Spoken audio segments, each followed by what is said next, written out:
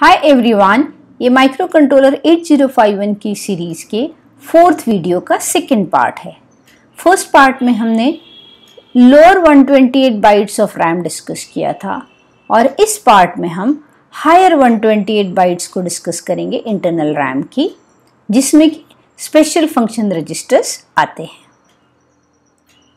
जैसा कि previous part में हमने डिस्कस किया था 80 टू एफ़ जो रैम लोकेशंस हैं वो S F Rs special function registers के लिए असाइंड हैं। अब हम इन एस एफ़ आर्स को डिटेल में डिस्कस करेंगे।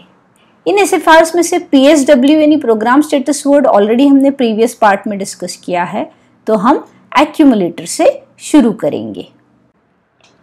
अब हम आते हैं एक्यूमुलेटर पे, जो कि ई ज़ीरो एच पे है। ये बहुत ही वर्सेटाइल रजिस्टर है। ये आठ बिट का रजिस्टर है तो ये आठ बिट के ऑपरेंट्स और रिज़ल्ट को स्टोर करता है।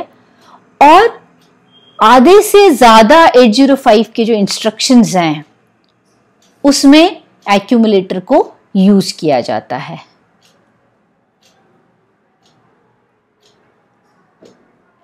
एक्यूमुलेटर जो है, बहुत सारे इंस्ट्रक्शंस एग्जीक्यूट होने के बाद उसके रिज़ल्ट को स्टोर करने के लिए यूज़ करते हैं। अब आते हैं रजिस्टर बी पे, जो एफ़ ज़ीरो लोकेशन पे है रैम की। ये भी एक आठ बिट का रजिस्टर है। इस बिट को स्पेसिफिकली मल्टीप्लिकेशन और डिवीज़न ऑपरेशन में रजिस्टर ए के साथ यूज़ करते हैं और ये इंस्ट्रक्शंस हैं M U L multiply A B या डिवाइड ए बी जहाँ इसको यूज़ किया जाता है। और अदरवाइज़ भी इसको R zero to R seven की तरह ही एज प्रोग्रामेबल रजिस्टर हम इसको यूज़ कर सकते हैं। फिर आता है data pointer register DPTR DPTR में हमारे पास है डीपीएल 82H पे और डीपीएच 83H पे। रैम की जो मैक्सिमम साइज़ है एक्सटर्नल रैम की, जो हम 8051 से कनेक्ट कर सकते हैं, वो है 64K इसका मतलब उसको 16 बिट का एड्रेस ज़रूरी है। इसलिए DPTR जो है, वो दो बाइट का रजिस्टर है, दो अलग अलग रजिस्टर्स हैं DPL data pointer lower byte data pointer higher byte तो इस रजिस्टर को एज मेमोरी पॉइंटर हम यूज़ करते हैं, जब भी हम एक्सटर्नल डेटा से डील कर रहे होते हैं। तो ये क्या करता है? ये एक्सटर्नल मेमोरी का एड्रेस जो है वो इस डेटा पॉइंटर में स्टोर होता है। एट द सेम टाइम इसको हम टू बाइट स्टोरेज रजिस्टर की तरह भी यूज़ कर सकते हैं, अगर हम एक्सटर्नल मेमोरी यूज़ नहीं कर रहे हैं। अब आते हैं हम स्टैक पॉइंटर रजिस्टर पे, जो 81 एच पे है। स्टैक जो होता है, वो रैम का एक सेक्शन है, जहाँ पे कंट्रोलर जो है, वो इंफॉर्मेशन को टेम्पररीली स्टोर करता है। ये इंप्रेशन ये इंफॉर्मेशन डाटा भी हो सकता है और एड्रेस भी हो सकता है। क्योंकि माइक्रो कंट्रोलर के बहुत बहुत लिमिटेड नंबर ऑफ़ रजिस्टर्स हैं, इसलिए स्टैक की उसको ज़रूरत होती है इंफॉर्मेशन टेम्परेली कहीं स्टोर करने की उसको ज़रूरत पड़ती है। प्लस माइक्रो कंट्रोलर को एक रजिस्टर की ज़रूरत है, जो कि स्टैक का एड्रेस जो है वो स्टोर करेगी। तो उस रजिस्टर का नाम है stack pointer register. Stack pointer register जो है वो 8 बिट्स का है। इसका मतलब 00 टू एफ़ मेमोरी लोकेशन को ही वो पॉइंट कर सकता है। यानी यही वो मेमोरी लोकेशन है जहाँ जिसको हम स्टैक की तरह यूज़ कर सकते हैं। जब हम स्टैक पॉइंट जब हम माइक्रो कंट्रोलर को रीसेट करते हैं, तब स्टैक पॉइंटर की वैल्यू हो जाती है ज़ीरो सेवन एच। इसका मतलब है माइक्रो कंट्रोलर स्टैक जो है, उसकी फ़र्स्ट लोकेशन है ज़ीरो एट एच यानी ज़ीरो एट एच ऑनवर्ड्स हम स्टैक यूज़ कर सकते हैं। अब अगर हम इंटरनल रैम आर्किटेक्चर को याद करें वापस तो हमें पता है कि 20 टू 2F जो लोकेशन है रैम की, वो बिट एड्रेसेबल मेमोरी के लिए है, इसका मतलब उसको स्टैक के लिए यूज़ नहीं कर सकते। यानी हम सिर्फ़ zero eight H to one F H इतनी ही मेमोरी, यानी 24 बाइट्स ही हम रैम की यूज़ कर सकते हैं स्टैक के लिए। जब हम कोई डेटा स्टैक में कोई रजिस्टर डेटा स्टोर करना चाहते हैं तो पुश कमांड यूज़ करते हैं। और अगर हम पॉप कमांड यूज़ करते हैं, अगर हम डेटा को रिट्रीव करना चाहते हैं। यानी writing into the stack we use push command and reading from the stack stack getting the data back we use pop command अगर 24 बाइट्स सफिशिएंट नहीं है स्टैक के लिए, हमको और ज़्यादा डेटा स्टैक में स्टोर करना है तो हमको हायर मेमोरी लोकेशन पे जाना पड़ेगा, यानी 30H टू 7FH हमको स्टोर करनी पड़ेगी। मेमोरी लोकेशन हमको यूज़ करनी पड़ेगी स्टैक के लिए। अभी जैसे मैंने आपको बताया कि जब भी हम 8051 को पावर अप करते हैं या रीसेट करते हैं तो स्टैक पॉइंटर में ज़ीरो सेवन एच आ जाता है। यानी स्टैक की पहली लोकेशन कौन सी होगी? ज़ीरो एट एच होगी। क्योंकि जैसे हम पुश कमांड करेंगे, वो एक इंक्रीमेंट करके और फिर डेटा स्टोर करना शुरू कर जाता है। अब ज़ीरो एट एच ऑलरेडी किसकी लोकेशन है? रजिस्टर बैंक वन के आर ज़ीरो रजिस्टर की लोकेशन है ज़ीरो एट एच इसका मतलब है रजिस्टर बैंक वन का आर ज़ीरो रजिस्टर और स्टैक दोनों सेम मेमोरी स्पेस यूज़ कर रहे हैं। तो इसको हम कहते हैं कि ये दोनों में कन्फ्लिक्ट है क्योंकि दोनों सेम मेमोरी लोकेशन को यूज़ कर रहे हैं। अब इस कन्फ्लिक्ट को दूर कैसे करेंगे? अगर हम रजिस्टर बैंक वन और टू को यूज़ कर रहे हैं तो हमें स्टैक को है, उसको रीलोकेट करना पड़ेगा। कॉन्फ्लिक्ट अवॉइड करने के लिए। और अगर हम रजिस्टर बैंक वन और टू यूज़ नहीं कर रहे हैं तो हम स्टैक पॉइंटर को वहीं रहने देंगे। Okay okay? अब आते हैं हम इंटरप्ट इनेबल रजिस्टर पे, जो कि ए एट एच पे है आई ई रजिस्टर जब भी माइक्रो कंट्रोलर को रीसेट करते हैं तो सारे इंटरप्ट जो है, वो मास्ड हो जाते हैं डिसेबल हो जाते हैं. इसका मतलब है कि माइक्रो कंट्रोलर किसी भी इंटरप्ट को रिस्पॉन्ड नहीं करेगा. तो इंटरप्ट जो है, हमको इनेबल करने पड़ेंगे, और इंटरप्ट को इनेबल करने के लिए इंटरप्ट इनेबल रजिस्टर जो है, वो यूज़ किया जाता है। ये एक बिट एड्रेसेबल रजिस्टर है, यानी इंडिविजुअल बिट को हम सेट या रीसेट कर सकते हैं। ये यहाँ पे रजिस्टर दिखाया गया है, इसके इंडिविजुअल बिट्स यहाँ पे शो की हुई हैं। तो इसमें जो पहले D7 बिट है, वो है E A enable all E A bit जब ज़ीरो होती है तो सारे इंटरप्ट डिसेबल हो जाते हैं। और जब हम ए बिट को वन करते हैं, तभी हम इंडिविजुअल इंटरप्ट की जो आगे के बिट्स हैं, उनको सेट कर सकते हैं और उससे हम इंडिविजुअल इंटरप्ट को इनेबल कर सकते हैं। डी सिक्स बिट जो है, वो यूज़ नहीं की हुई है। डी फाइव जो है, वो ई टी टू है। ई टी टू यानी टाइमर टू का इंटरप्ट इसका मतलब है ये इंटरप्ट सिर्फ़ 8052 में यूज़ होगा 8051 में इसका यूज़ नहीं है।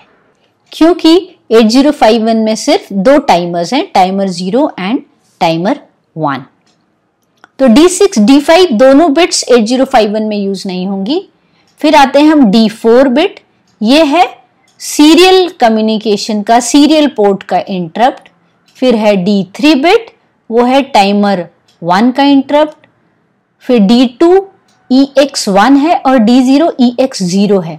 ये दोनों एक्सटर्नल इंटरप्ट्स हैं 8051 के और ई टी ज़ीरो है वो टाइमर ज़ीरो का ओवरफ्लो इंटरप्ट है। तो ऐसे इंडिविजुअली हमारे पास दो टाइमर्स के, दो एक्सटर्नल इंटरप्ट और एक सीरियल पोर्ट का इंटरप्ट तो टोटल हमारे पास पाँच बिट्स हैं, पाँच इंटरप्ट के लिए, जिनको इंडिविजुअली अगर हम ज़ीरो कर देंगे तो वो इंटरप्ट डिसेबल हो जाएगा। वन कर देंगे तो वो इंटरप्ट इनेबल हो जाएगा। लेकिन वो अगर हमें कोई भी इंडिविजुअल इंटरप्ट इनेबल करना है तो ई e को वन रखना ज़रूरी है। अब आते हैं हम इंटरप्ट प्रायोरिटी रजिस्टर पे, जो बी एट एच पे है। ये रजिस्टर इंटरप्ट की रिलेटिव प्रायोरिटी बताता है।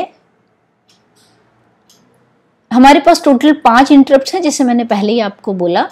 External interrupt zero timer zero timer one external interrupt one और सीरियल कम्युनिकेशन का इंटरप्ट तो इन इंटरप्ट की प्रायोरिटी हम लो या हाई सेट कर सकते हैं। ये इनका इंटर प्रायोरिटी रजिस्टर है, जिसमें इंडिविजुअल बिट अलॉटेड है। तो अगर हम इन बिट्स पे ज़ीरो रख देंगे तो इंटरप्ट की प्रायोरिटी हो जाएगी लो और वन रख देंगे तो इंटरप्ट की प्रायोरिटी हो जाएगी हाई पी एस जो है वो सीरियल पोर्ट के लिए P T one timer one के लिए P X one external interrupt one P T zero priority of timer zero and P X zero priority of external interrupt zero कोई भी interrupt अगर उसकी हाई प्रायोरिटी सेट कर दी हमने तो वो लो प्रायोरिटी इंटरप्ट को इंटरप्ट कर सकता है। अब आते हैं हम टाइमर रजिस्टर्स पे। जैसे कि हमको मालूम है 8051 में दो टाइमर्स है timer zero and timer one और दोनों 16 बिट के टाइमर्स हैं। इसलिए हमारे पास दोनों टाइमर्स के लिए दो अलग अलग रजिस्टर्स हैं। T L zero T H zero timer zero के लिए T L one T H one timer one की बाइट को स्टोर करने के लिए। उनके एड्रेसेस दिए हुए हैं एट ए एच से एट डी एच तक।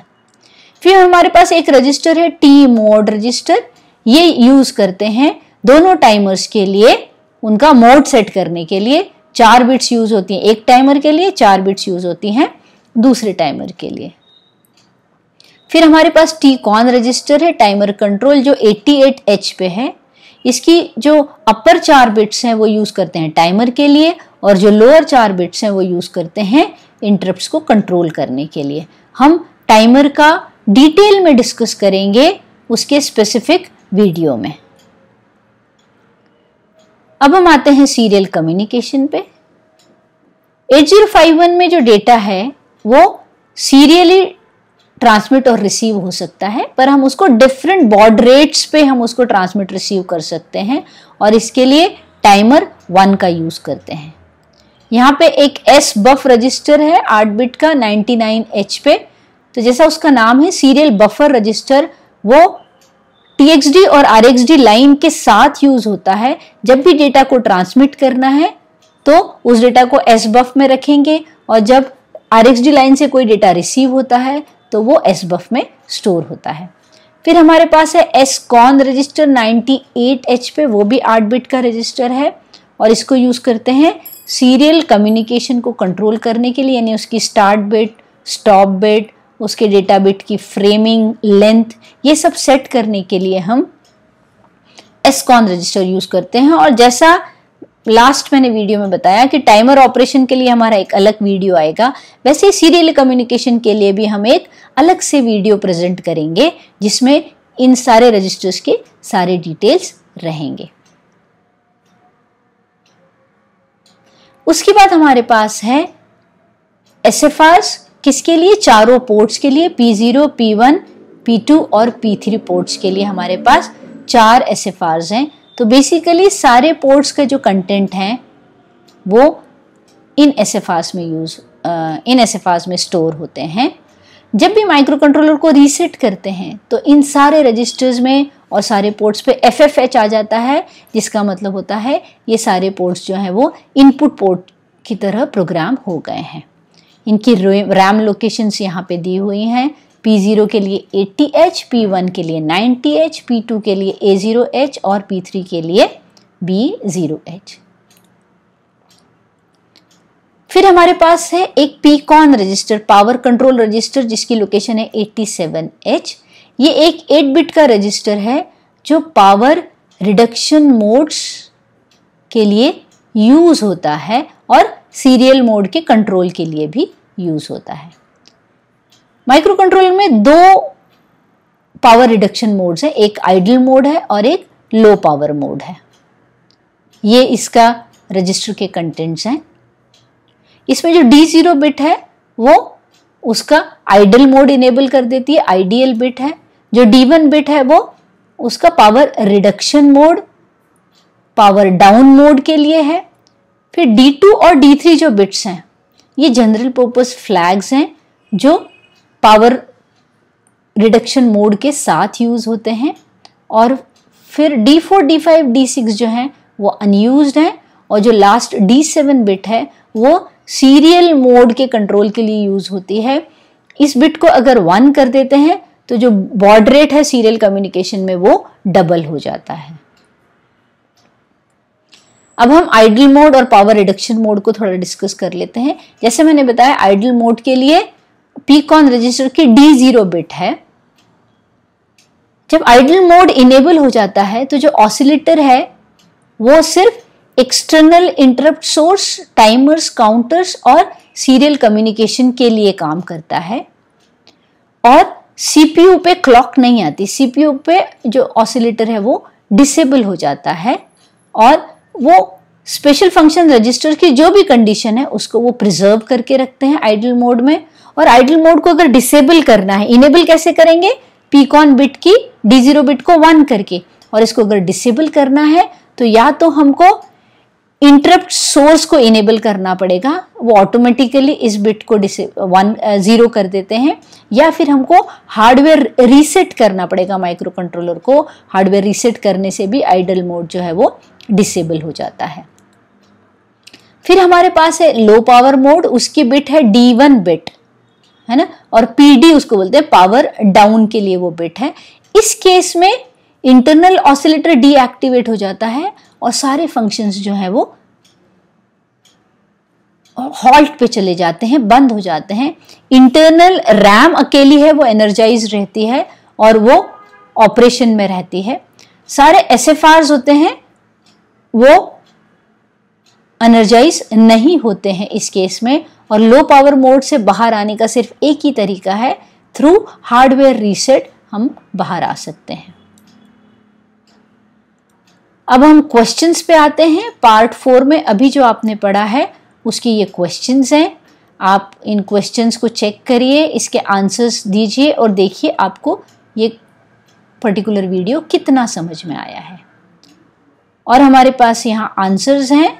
ये आंसर्स किसके हैं? जो हमने पार्ट थ्री था pin diagram of eight zero five one ये उसके क्वेश्चन के आंसर्स हैं। तो you can go through the answers and check for your understanding thank you so much for watching this video please like share and subscribe my channel concept two zero one eight for more such videos and keep watching this series to be an expert in micro controller eight zero five one thank you